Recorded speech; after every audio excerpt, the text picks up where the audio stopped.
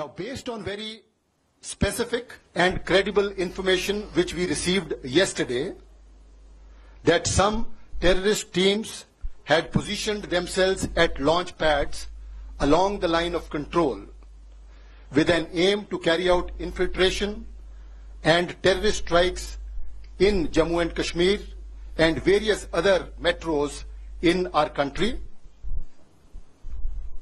The Indian Army conducted surgical strikes last night at these launch pads.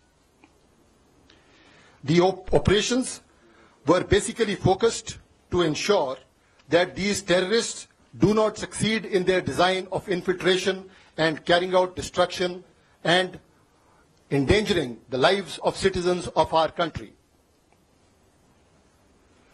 During these counter-terrorist operations, significant casualties have been caused to the terrorists and those who are trying to support them.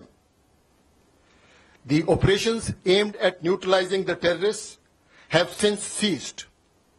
We do not have any plans for further continuation of the operations. However, the Indian armed forces are fully prepared for any contingency that may arise.